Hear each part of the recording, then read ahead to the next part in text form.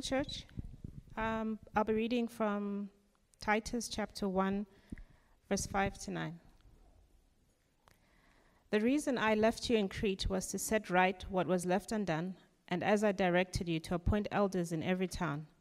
An elder must be blameless, the husband of one wife, with faithful children who are not accused of wildness or rebellion.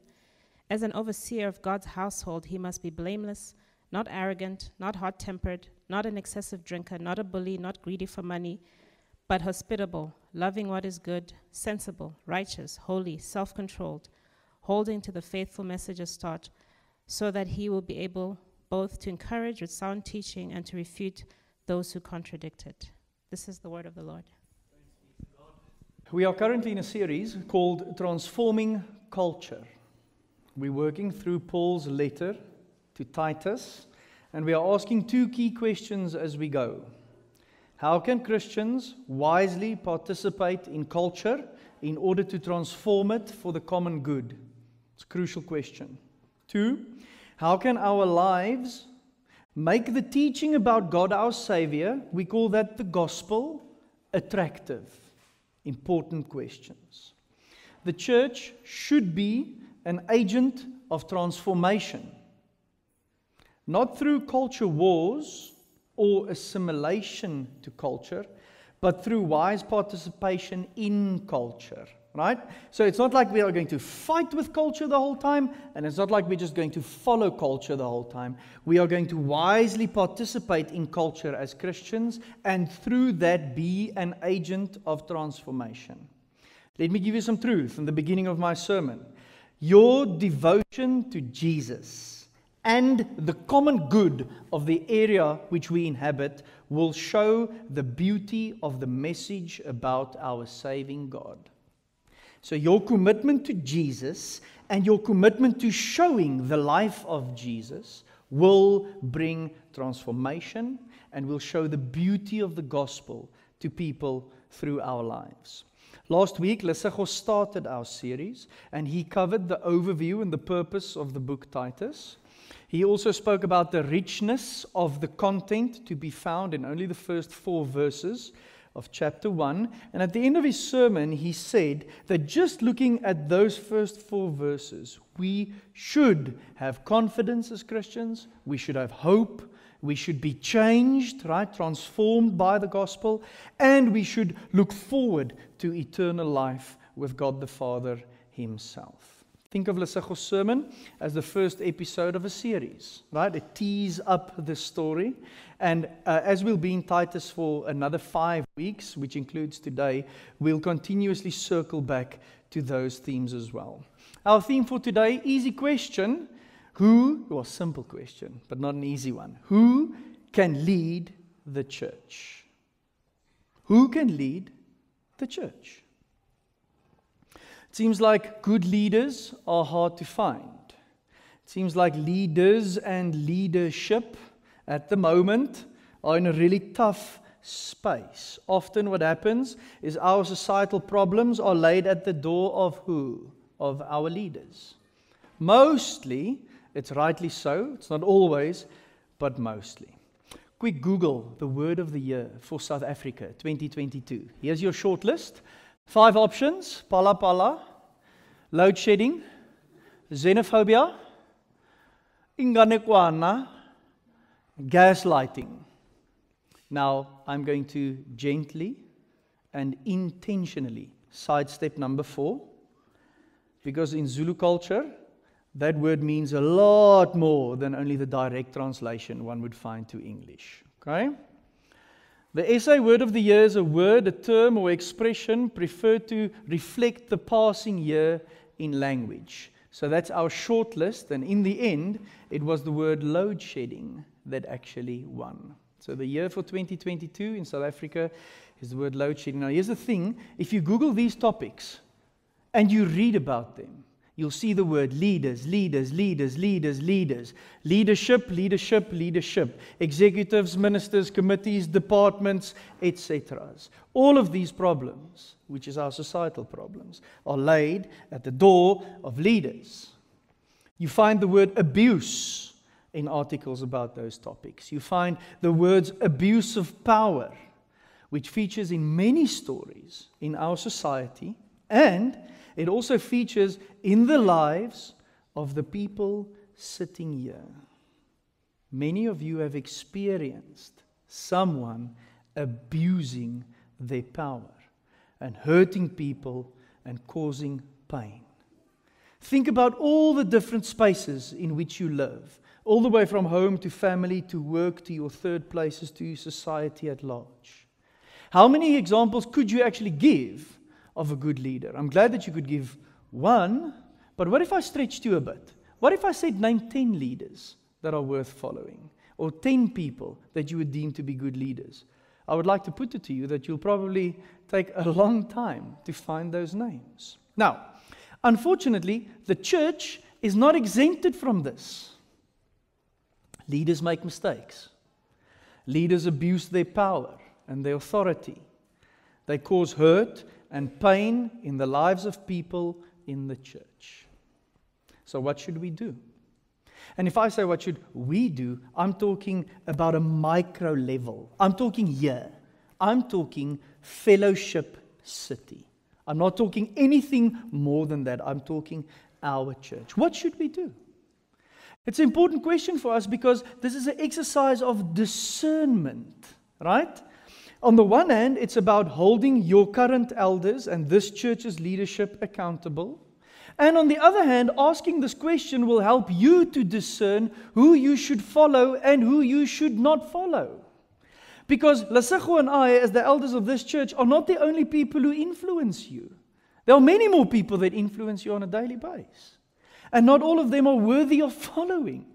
So you need to have a lens through which you can view leadership as a Christian so that you can know who to follow. So, what should we do? I've got a great answer as a teaching pastor. Let's study the scriptures together and then find out. Let me pray for us. Lord Jesus, I pray that you illuminate our minds now, that you would give us a compelling picture of leadership in your church, that we would see you as the perfect leader and the one who's worthy of following. I pray that we would see and find ways that we can transform culture through this view of leadership. And I pray that you would have me now speak the words that you would want me to speak, and that you would have us know what you would want us to know and do according to your word. I pray, Lord Jesus, that this is a time of, of inspiration for us and of growth for us. Holy Spirit, have your way in us as we walk through your living word that pierces even to the deepest part of our being. We pray that in your name. Amen. I'm a three point guy, so three points today. Here we go. Why should Titus appoint elders? Who qualifies as elders? And who and what are elders overseeing? Only four verses, but these four verses will unpack all of these. So there's your three points for today. If you are a photo person, it's time to take the photo now, but I'll walk us through it. Okay, firstly, why should Titus appoint elders? The job of Titus was twofold, and I'm going to use the drawing of the Bible project to just help us see this. So if you look at uh, the heading up top, 5 to 16 in chapter 1 is about the tasks of Titus. And you'll see that the tasks are twofold. On the one hand, he has to complete the organization of the church in Crete, that is, appointing new leaders. And on the other hand, he has to preserve the church from the contamination of false teaching. Okay? So he has to sort out the corrupt leaders in the church at that moment. And the first one, appointing good, new, solid leaders, is the first step to sorting out their contamination in terms of false teaching. Do you guys see that? Also, interesting to note in this portion of scripture, Paul doesn't write to Titus and say, get all the bad ones out. He said, appoint new ones, ones who are worthy of following, ones who can actually handle the crises that comes with leading the church, and then you sort out the bad ones, right? Not chasing them away, but refuting them and confronting them and helping them to view the gospel and the teaching of the apostles in the right way again. Now, Lesego said this last week, but just in case you missed it, this is Titus's job because Paul and Titus had a missionary tour through Crete, an island off the coast of Greece, and this was after Paul's first release from prison. And Paul left Titus before he was able to finish this job in Crete. And that's why he's writing it to him now. So Titus stayed to finish the task. It's a simple highlight in verse 5 that I just want to show to you. That's the focus of his job there. Set right what was left undone and appoint elders in every town. Now, in Crete, the problems were those of a new church. Okay, so amongst other things, we also have those problems because we're only one year old. There were no administrative, uh, there was no administrative structure in the church, meaning no one really knew what was going on, right? We were a church and we knew that there were people preaching and people doing stuff, but it was a lot more chaotic and a lot less organized. They also faced pressure from outside Jewish groups telling them that they're doing it wrong or interpreting it wrong. It's commonplace of a new church. And then obviously there was evidence of sinful behavior among the people because it's people who just got to faith, they just submitted their lives to the Lordship of Jesus Christ, and they are all creatures of habit. So they're learning how to live in this new way, but while they're learning how to live in this new way, they are really sinful. They are new Christians acting according to the culture, according to what they know. And culture, as you guys know full well, is a very strong force in society. Imitation is part of the nature of creation, not only in humanity. Like that's what we do. We look and then we copy. It happens the same with a little zebra that was just born. It happens the same with kids as they grow up. The old saying goes, as they see, so they do. It's part of creation. And as we imitate, we learn culture because we grow up in culture. So it's a very, very strong force. So submitting your life to Jesus Christ doesn't mean that everything of your past life is all done. It's dealt with, but it's not done yet. There's a process of transformation that needs to happen. Let me, let me give you an illustration. This is a cereal bowl. Guess who got it all this morning? It's quite easy to get there. Take out the bowl, take out the cereal, pour cereal into the bowl, pour milk over cereal. Decide whether you want a shower cold or hot. Eat. It's really not that difficult. Well, for me, as a 37 year old male who's done it a gazillion times. I have a seven year old daughter. Her name is Ava. You guys might have seen her in front of the church or in the front of the church building earlier. If Ava chows cereal, this is where we end up. Next slide, please. It's, it's, it's not that difficult, but we end up there. Now, Ava is a really good metaphor for a new church, right? Why? Because Ava doesn't know the process and the sequence, the administrative structure, if you want, of how to get cereal done, right? I do it without even thinking about it. She doesn't know where the bowls and the spoons are. She doesn't know where the cereal is. She doesn't know uh, in which shelf on, uh, in the fridge the milk is, right? She doesn't know how to pour a full box or how to pour a less empty box. She doesn't know how to open the cereal bag necessarily. There's so many things that she doesn't know, but I do. And it's because I'm older than her and she's new, right? Ava also feels pressure from other groups, like her friends at school asking her, do you do your own cereal in the morning? Because I do. And I'm cool like that. And then Ava feels the pressure and she asks me, Dad, can I please also do my cereal myself? Right? So she feels this pressure. And there's also outright sinful behavior from my seven year old daughter not listening to me. Right? It's just how it is. So she knows that she has to follow my example, but she thinks that she knows better. That's a kid, guys. It's a new human. Exactly the same issues as with a new church. Now, there's nothing wrong with Ava. She's just young. It's how it is. Now, as her father, 37 years old, I'm there to show her the way.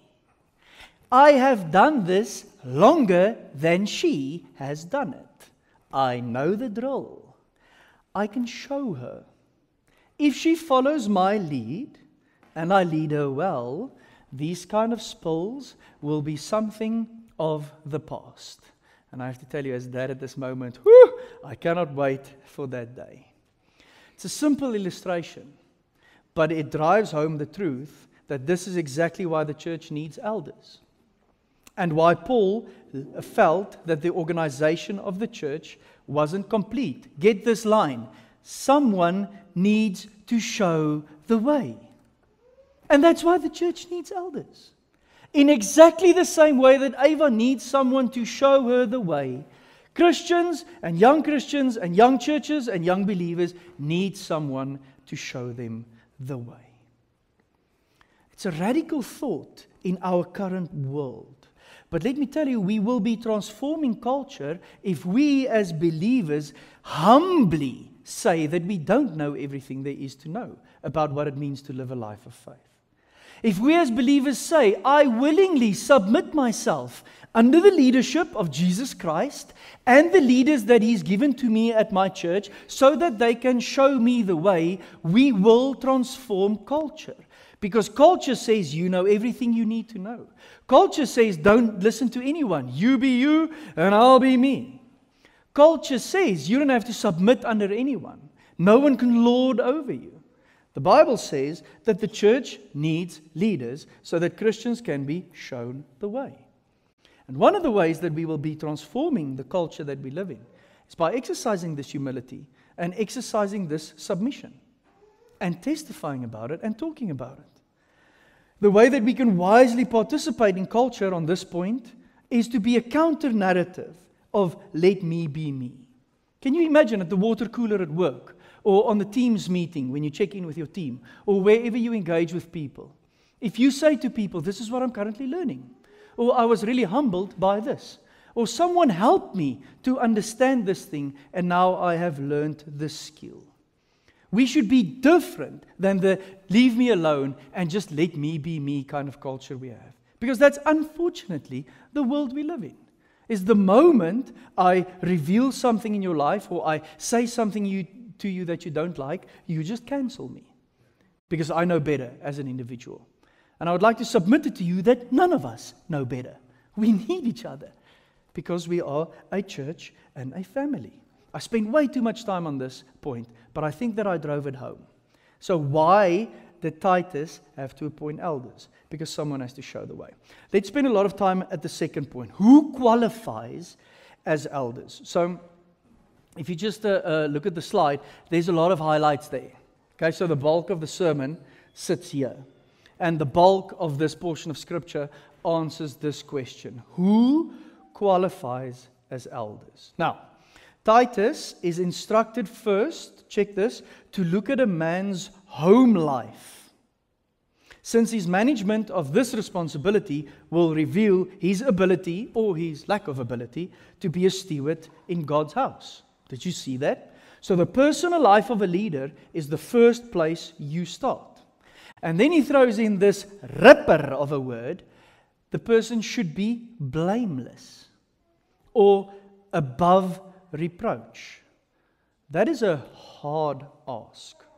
Let me show you a quote from a church father. This is now from the fourth and the beginning of the fifth century. His name was Ioannes Chrysostomos. That's the correct Greek pronunciation. In very, very uh, eloquent English, it's John Chrysostom. In my Afrikaans way of saying English names, it's Chrysostomos. Check this. He says about church leadership, church eldership, we should observe what, he, what care he bestows upon children.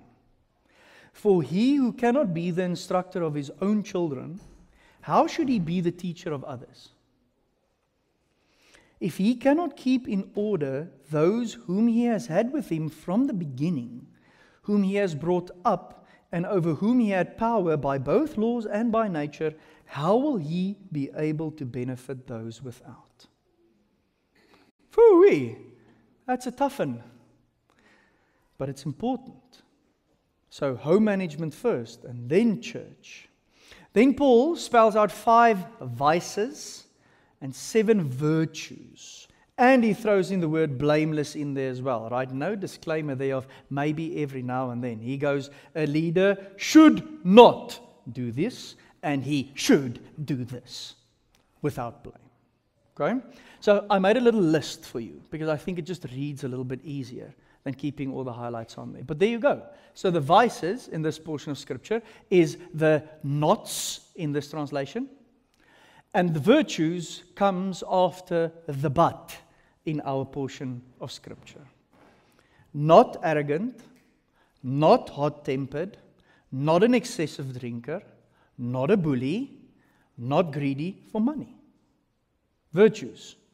Hospitable, loving what is good, sensible, righteous, holy, self controlled, holding to the faithful message as taught.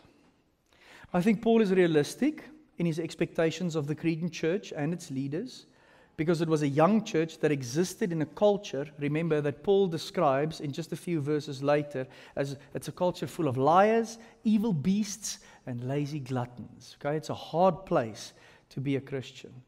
At a minimum, Paul wants the elders to live up to the basic standards of the Christian life.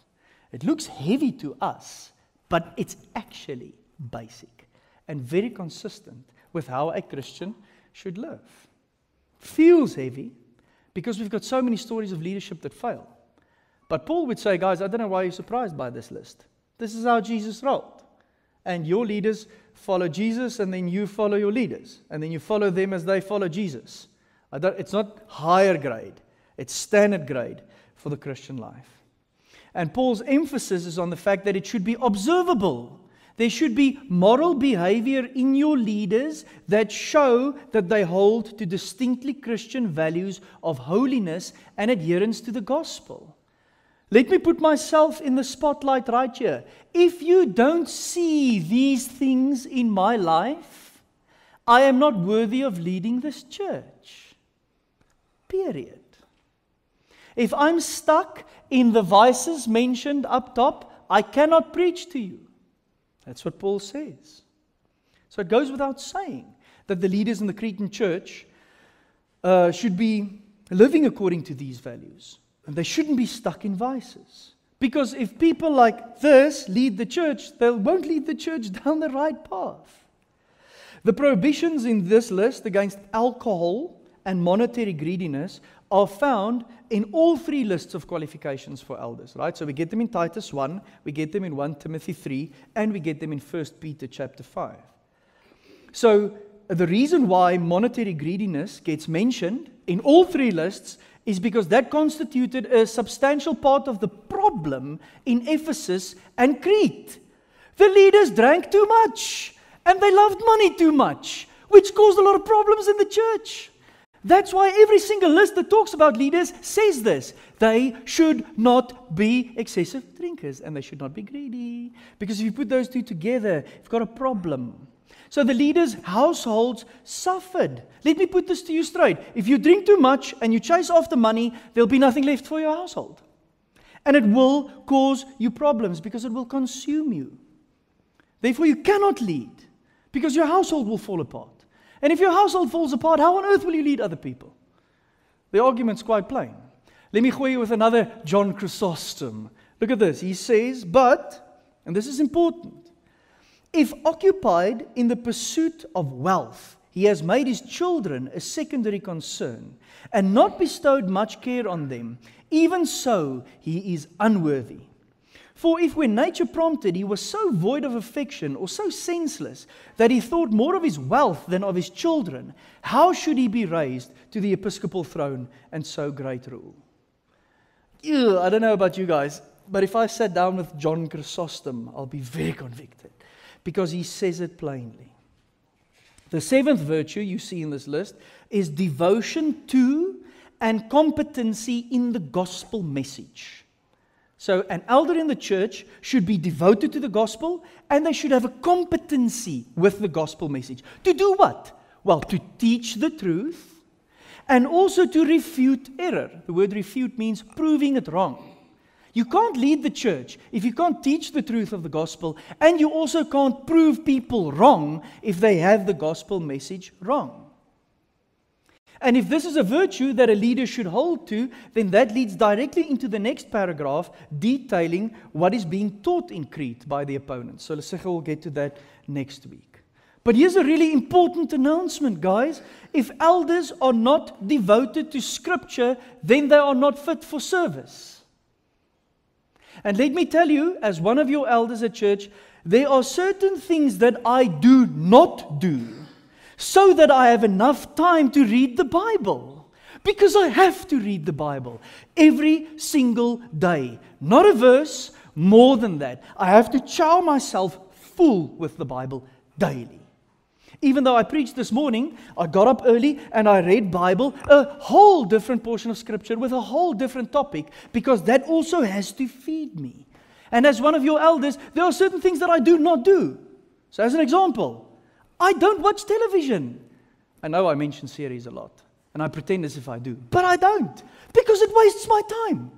Because if I watch telly, I'm not going to read the Bible. It's just how it is. So if we are not in the Word, we're not fit for service. I can't even give you an illustration to explain this because it's so clear. This is who qualifies to be elders. We will be transforming culture if we have people lead who honor life and relationships above success and human metrics. Right? We've got a lot of human metrics for success. Stuff like vision and wealth and influence. We have to transform culture by stating that there are other things that are more important than that. And that is the life that God has given to us and the relationships that He's given to us. And that a leader that is really worthy of following is someone who takes care of these things. It's not the person who makes the most money, who has the next big business idea, who makes the front pages of awesome magazines, who venerate people for worldly success. We have to be different. I liked what Josie said in Question of the Day, saying that even though it was in the workspace, that uh, a, a supervisor or manager of her, or boss of hers, was a man of God, firstly. And then you mentioned all his work competencies. But it was man of God first. And that's the way that we can transform culture. The way that we will wisely participate in culture is honoring people who are like this portion of scripture. Well, yeah, well, like that one, like this. honoring people who are like this and who lead in this way. We live in a country and in a world where people often choose their own leaders. Very soon we'll be choosing leaders for our country again. Let's transform the place by choosing leaders that are worthy of following according to this criteria. Not according to leaders who look slick and who make slick promises. That's just an example.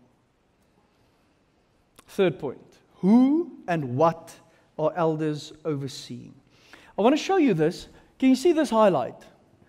Paul interrupts himself to say who the church is before he continues with saying how people should lead the church. He interrupts his list and specifies why it's important that elders are above reproach. Because they are not watching over a human institution, they are stewards of God's household.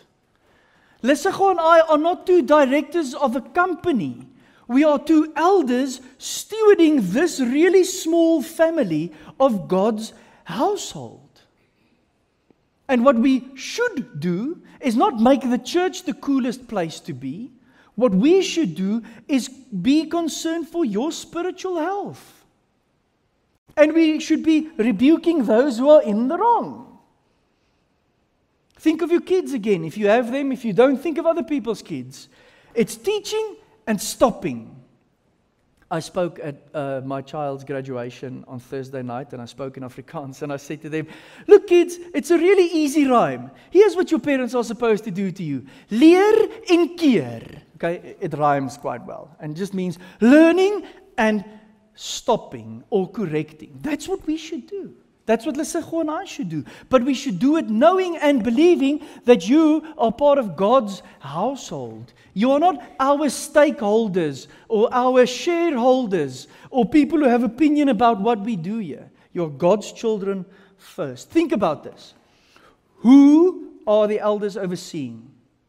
Elders are overseeing people created in the image of God, meant to be in a relationship with Him and with others. That's who elders are overseeing. What are elders overseeing? Elders are overseeing a family of diverse image bearers. You. Sharing the same Father who loves them dearly, loving one another like the Father loved us, and being on the same mission to go and make disciples of all nations. That's what the church is.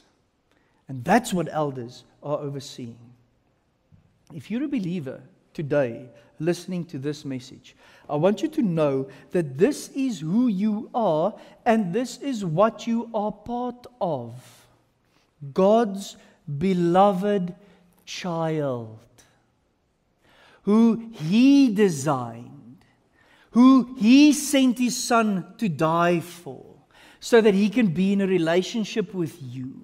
And by His grace, He gave you a whole new family, committed to loving you in the same way that God loves them.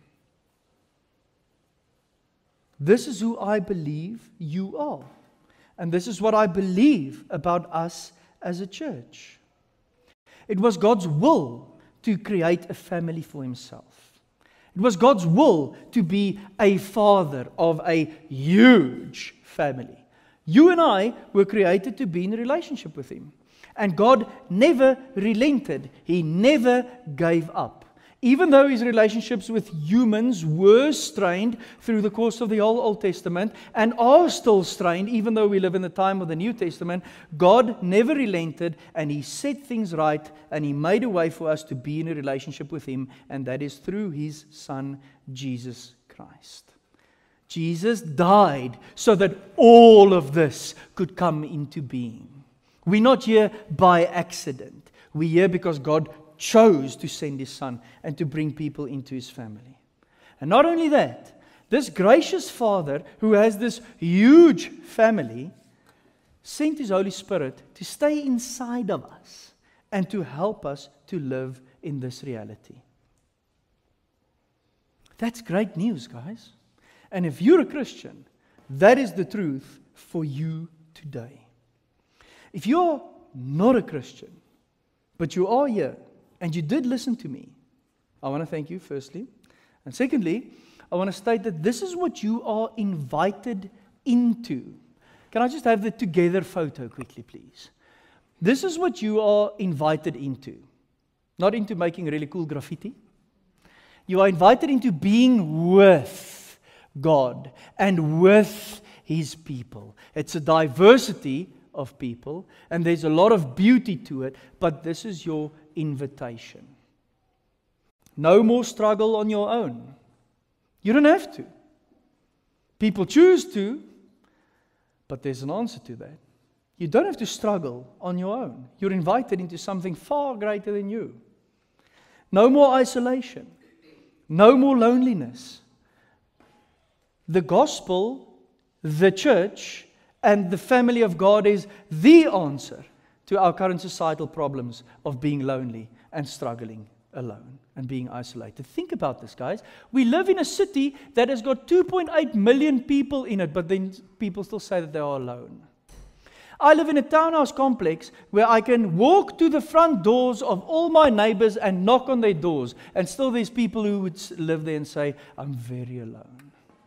We see hundreds, maybe thousands of people in a day that we walk past, but we still feel alone and isolated. The gospel, the church, God's family, that's the answer. And if you're not a Christian today, the last thing that I want to say is there's no more chasing after worldly things. Because worldly things will not satisfy you. But you're looking for your satisfaction in worldly things, and you're still not satisfied. And that's why you need to hear the good news is that there's something else that God has done to save you from this really, really, really bad space that you're in. One last remark. I think we'll be transforming culture if you think about uh, our third point of who the church is and what the church is, by treating people as image bearers of God. Period. If you treat someone like they were created in God's image, you will transform culture. Every single person. It doesn't matter what you feel about them in that moment. If you treat them as an image bearer, we will change this community. We will change this community if we talk about the other as family and testifying about how that enriches your life. In front of me now sits a diversity of people.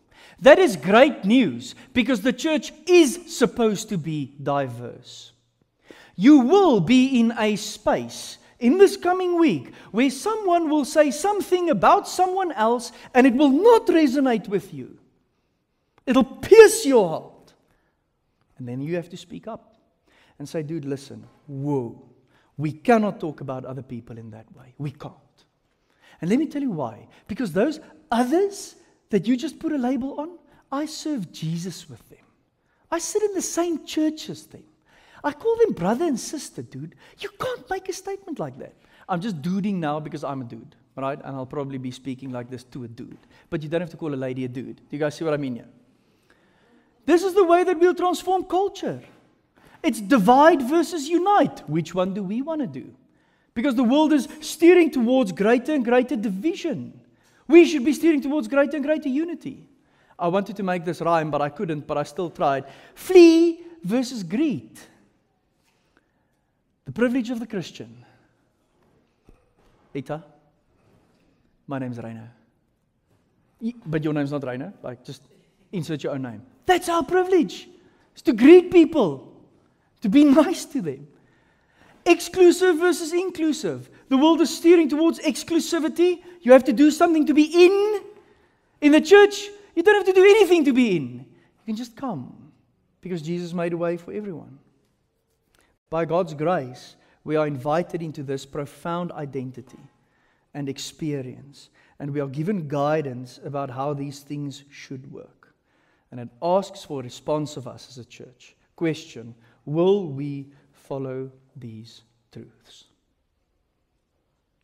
Okay.